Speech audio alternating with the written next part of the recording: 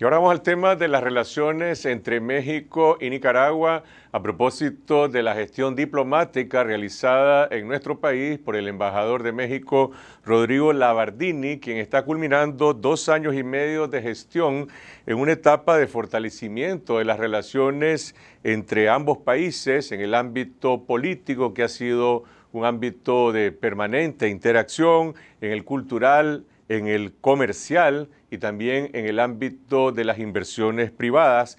El embajador Labardini será condecorado mañana en la Cancillería con la Orden José de Marcoleta. Buenas noches, embajador. Gracias por acompañarnos. Muchas gracias, Carlos Fernando. Un placer, como siempre, hablar contigo y tener la oportunidad de platicar con tus televidentes. En el 2013 y creo que también en el 2014, eh, las inversiones privadas mexicanas tuvieron un peso predominante en el conjunto de la inversión extranjera directa en Nicaragua. ¿Cuál es el peso global de la inversión mexicana en el 2013-2014? La cantidad de inversiones creció de manera relevante aquí en Nicaragua, al grado que México es ya el segundo inversionista aquí en Nicaragua. Y la inversión tan solo de 2014, y te destacó esta nada más en base a los anuncios que se han hecho públicos, eh, la inversión que hizo Cemex, la que ha hecho su carne, la que está haciendo Lala, la que hace Claro, todas ellas, más o menos nos apuntan que en 2014 las inversiones mexicanas superarán 250, quizá 300 millones de dólares, lo cual confirmará que somos, que México es el segundo país inversionista. Hay dos proyectos que están en proceso de culminación, un proyecto importante de servicios médicos, como es la construcción del hospital militar, y por el otro lado, la construcción de lo que todavía alguna gente llama la carretera Vieja León, que ya no es vieja, es una nueva carretera León. Estos proyectos se hacen con fondos públicos mexicanos. Los que mencionaste tú, el hospital y la carretera, son con fondos mexicanos públicos. Son de Bancomex, son de la Correa Yucatán. En el hospital hay 56 millones de dólares, en la carretera hay 38 millones de dólares. En prácticamente dos solamente hay casi 100 millones de dólares. Esta es una inversión que viene de años, fondos públicos apuntados, y es una muestra de, manifestar solidaridad con Nicaragua con un punto muy importante que es la infraestructura. Porque en el hospital militar, que es hoy por hoy la obra más grande de construcción en Nicaragua, un mero signo, tiene 23 mil metros cúbicos de concreto, pero un metro cúbico, pues yo conozco un metro por un metro, dos metros, siempre hay relación, pero si esos 23 mil metros de, cúbicos de concreto los pusiéramos una pista de concreto, podríamos hacer una pista de concreto que va de Managua a Granada, 40 kilómetros de largo, por 7 metros de ancho, y esa pista mediría unos 9 centímetros de grosor. Esa es la cantidad de concreto. Pero es más importante, tiene 880 kilómetros de cable, que es la distancia entre Nicaragua y México, de Managua a Tapachula, una subestación eléctrica de 4 megavatios que alimentaría una ciudad en Agarote. Esa es la dimensión de lo que está. Y prácticamente ahí entonces estamos construyendo, se está construyendo la carretera, que yo prefiero llamar la carretera México-Nicaragua, porque la vieja será la nueva y la nueva va a ser la vieja, entonces mejor la México-Nicaragua es la que va a estar ahí. Esa es prácticamente construirla para que entonces puedan llegar los pacientes al hospital militar que está ahí. Pero debería ser bautizado oficialmente de esa manera. Supongo que eso ya le tocará, esa gestión le tocará pues al gobierno de Nicaragua y al gobierno de México representado por tu sucesor. Sin duda, es una parte importante de ir terminando los detalles. La carretera está próxima a terminar también, ya están a punto de entregarla, será alrededor de febrero, principios, finales de febrero, y el hospital militar también está por esas fechas. Es decir, son proyectos de gran envergadura que están a punto de concluir en una fecha cercana. Este repunte, si se le puede llamar así, de la inversión mexicana, porque ha estado presente desde hace muchos años con diversas compañías, quizás las más emblemáticas han sido las que has mencionado, como Claro y Cemex, pero bueno, ahora aparece también su carne desde hace varios años en el ámbito eh, agropecuario de mataderos, Lala, que es conocido como una gran empresa de alimentos que acaba de comprar eh, una industria nacional de más de 70 años de existencia como es Esquimo. Eh, ¿A qué se debe o cómo se explica esta nueva dinámica inversionista de empresas mexicanas en el país? Yo lo que veo es que el inversionista mexicano ve oportunidades de inversión aquí en Nicaragua y entonces llega, invierte, pero nada más invierte en sitios. Poco se sabe, pero a 2013 el 18% de la inversión extranjera directa en Nicaragua es de origen mexicano. más importante es que en el sector industrial la inversión extranjera directa de origen mexicano es 27%, casi uno de cada tres dólares. Esto manifiesta que el inversionista no nada más lo hace con no invertir, sino que seguramente quiere que eso donde invirtió ese le compre o le venda más barato y lo mete en su cadena productiva. Y eso va a empezar a responder también a por qué el, el, comercio va creciendo entre ambos países. Se ven oportunidades, llegan, se están aprovechando y se están aprovechando por vínculos culturales, tradición, idioma, cercanía de mercados también. Recordemos que el TLC entró en vigor para México y Nicaragua el 1 de septiembre de 2012. ¿Cuál ha sido el impacto del, de la dinamización del comercio a partir de, del TLC? Una muy importante. En 2012 fue la largada, el disparo largado, nada más para recordar que México está ahí, Nicaragua, empiezan a crecer de manera muy relevante. En 2013 esto sigue. Se logra en 2013, en 2012, me corrijo, un récord de 876 millones de dólares bilaterales, que creció en 2013 a 1.407, se dice fácil, y en 2015 estimamos nosotros va a terminar alrededor de 1.550 millones de dólares. ¿Y el balance comercial cómo se inclina? ¿Es favorable a México? ¿Si exporta más México a Nicaragua o...? Sí, pero originalmente en 2011, en 2012 era una desbalanza fuerte, eran como 500 millones a favor de México, pero el año pasado, en 2013, fueron solamente 157 millones, este año estimamos que oscile por ese monto. Pero ahí hay que tenerle cuidado, porque una balanza de pagos no se forma nada más con las exportaciones e importaciones entre dos países, sino se forma entre un país contra todo el resto, y hay que sumar inversión extranjera directa, eh, remesas también y cuenta corriente. Eso es lo que hace la balanza. Más importante es ver que si Nicaragua está importando productos de México en un buen volumen, es porque su industria lo necesita. De igual forma, México lo hace y está importando de manera relevante. Más de 500 millones de dólares se van de aquí para allá 600 en 2014, porque la industria mexicana lo requiere. Y subrayo esto porque son oportunidades de negocio, de comercio para Nicaragua. México produjo en 2012 2.900.000 automóviles y en 2016 vamos a producir 4 millones de autos. Esto es significativo porque todos esos autos necesitan arneses y destaco arneses con esa inversión y esa conectividad, esa cadena productiva. Cuando vimos los números, nos pusimos a investigar y encontramos que se importa cobre, cable de cobre, desecho de cobre, se importa de México y viene a Nicaragua. Aquí se transforma en arneses de automotor que no sé si tú o los televidentes recordarán un automotor, cuando vengo yo manejando estiro la mano izquierda y entonces eso hace que un seguro o un vidrio baje en la mano derecha o se muevan los limpiadores o brisadores que le llaman a ustedes, las luces. Todo eso requiere una conexión de cable de cobre. Entonces aprieta un cobre un cable de cobre. Cuando juntas varios cables de cobre, se forma entonces un arnés y un automóvil tiene más de 30 arneses. ¿Y qué crees? Esos 4 millones de automóviles que va a producir México en 2016, todos requieren arneses. Así es que hay una oportunidad de 4 millones por más de 30, tienes prácticamente 12 millones, de 120 millones de arneses que podrían producirse aquí e incrementar evidentemente la economía y el bienestar de la población nicaragüense. Una de las más recientes eh, firmas mexicanas que estableció o amplió sus operaciones en Nicaragua es el caso de Aeroméxico. Eh, ha existido un déficit en, el transporte, en los servicios aéreos, eh, en la comunicación entre Nicaragua y México. Lo llenaban de alguna manera otras líneas aéreas, pero no con la facilidad de un vuelo diario como el que representa Aeroméxico para los nicaragüenses, para los mexicanos y para las posibilidades de otras conexiones. ¿Cuál ha sido el impacto de la apertura de esta ruta de Aeroméxico? gracias por mencionar Aeroméxico. El, algo que le faltaba entre ambos países y en particular a Nicaragua es conectividad aérea, conectividad internacional. Y yo nada mencionaré, me han dicho que tengo un karma con el 18 aquí en Nicaragua. Un día volé Managua a México y fueron 18 horas, porque tuve que pasar otras dos ciudades y mucho tiempo. Y dije, nadie más debe pasar esto. Y entonces hablé con empresas mexicanas, mandé información, cuál es la economía, el futuro, cómo va creciendo en Nicaragua, etc. Y finalmente llegó a Aeroméxico con un vuelo directo que es excelente.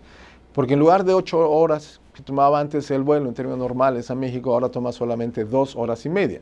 En lugar de mil que estaban esos boletos que me tocó a mí pagar, o más incluso, ahora están alrededor de 450, 350 dólares. Y aquí Aeroméxico hizo un gran esfuerzo. El aeropuerto de la Ciudad de México es uno de los puertos más llenos, ahorita está copado. Entonces tuvieron que mover sus slots, que un slot es el momento en que puede llegar un avión a una puerta. Movieron los slots para abrir el espacio al vuelo de Managua y le dio entonces excelente conectividad.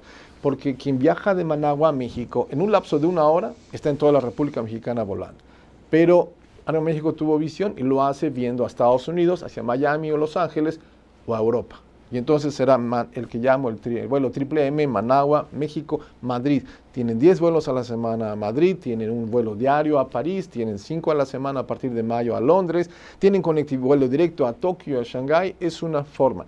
Y la conectividad se, espera, se, se observa muy bien, como un colega chileno me informó que está viajando ahorita a México, México, perdón, Managua, México, Santiago. Te imaginas el vuelo, pero pues lo encuentra más cómodo conectiva y sobre todo más económico. México y Nicaragua han mantenido una colaboración estrecha, no solo en el ámbito eh, comercial, en el cultural, también en el ámbito político, en diferentes niveles de las relaciones entre las cancillerías y, en otros órganos como eh, el caso particular, por ejemplo, de la justicia. Hace un par de años el país se estremeció por el caso de esta banda que fue capturada en Nicaragua y que fue bautizado, conocida como los falsos Televisa, fueron juzgados, condenados en Nicaragua, ahora purgan su condena en México. Eh, ¿Se conoce algún balance final de lo que fue esta operación de, digamos, de delincuentes mexicanos en Nicaragua y Centroamérica?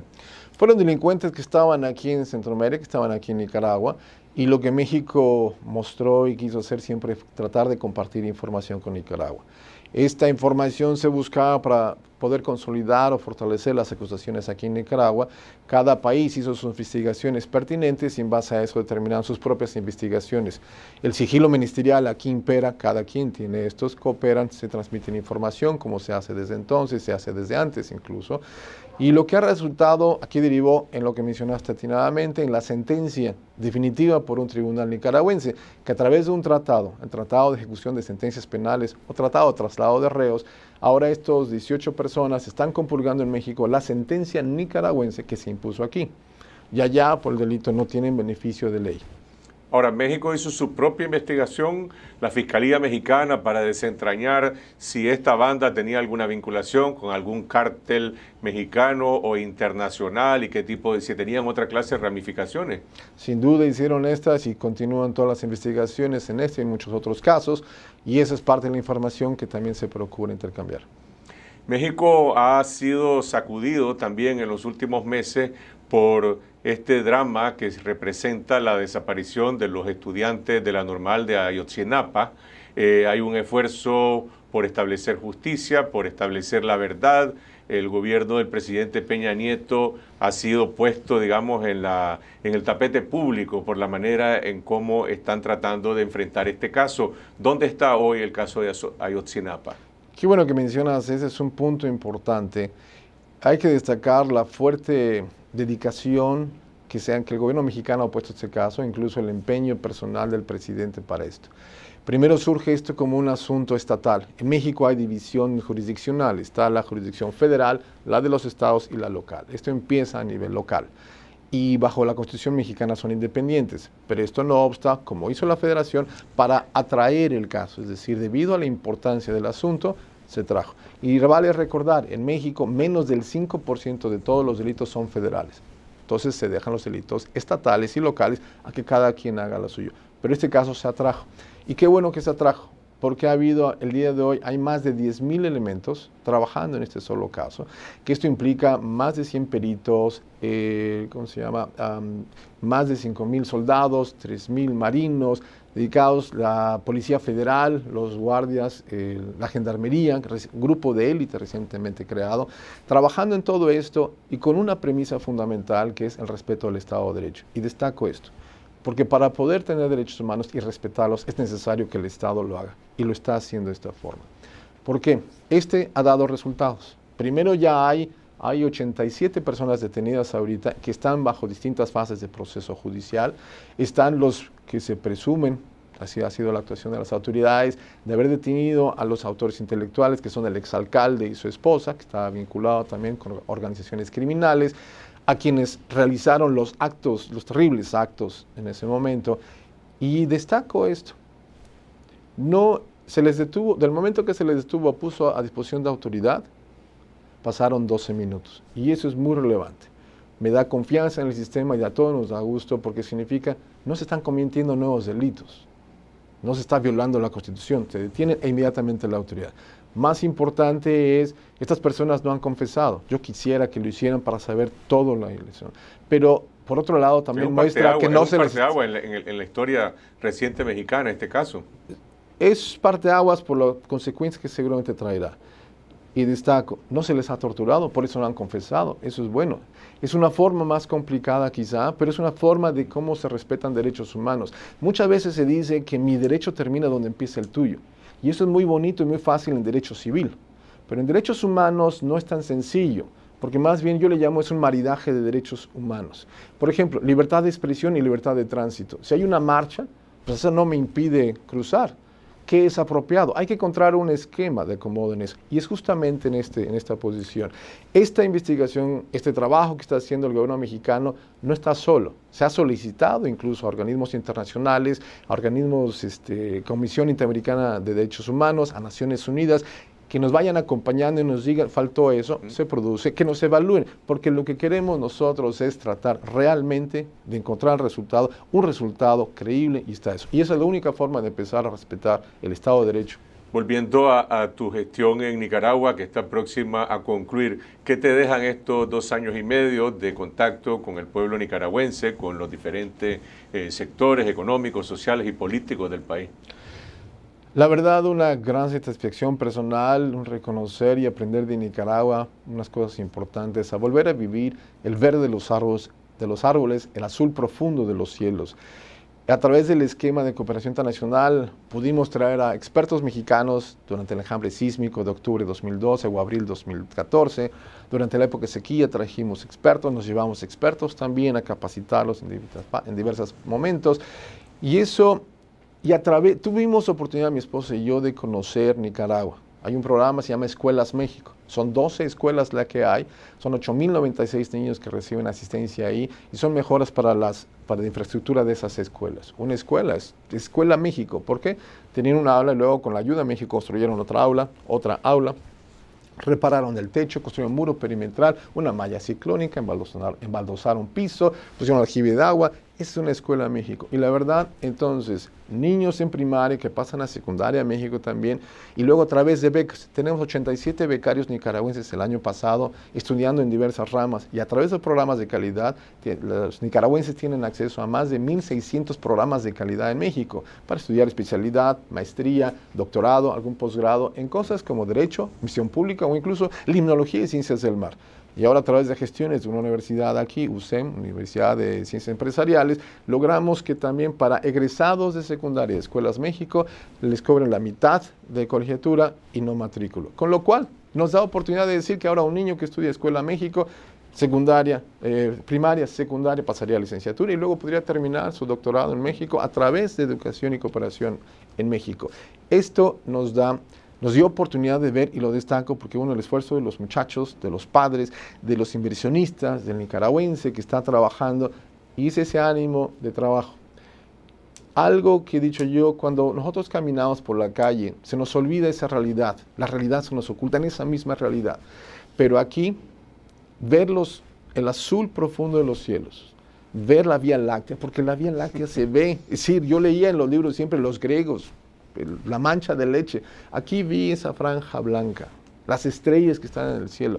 Es una parte de ver la naturaleza, los árboles tan contorsionados que están y reflejan mucho del espíritu del nicaragüense, que es el que nos llevamos. Mi esposa y yo hemos dejado nuestro corazón aquí y estoy cierto que me llevo vuestro latir y el de tus televidentes con nosotros. Nos vamos a recordar en fotografías, en obras de arte, en recuerdos, en papeles, todo eso. Este estudio ahora me lo llevo también. Gracias, embajador. Suerte en su próximo destino y eh, nuestros uh, reconocimientos también por esa condecoración que le otorgará mañana la Cancillería de Nicaragua al embajador Rodrigo Labardini.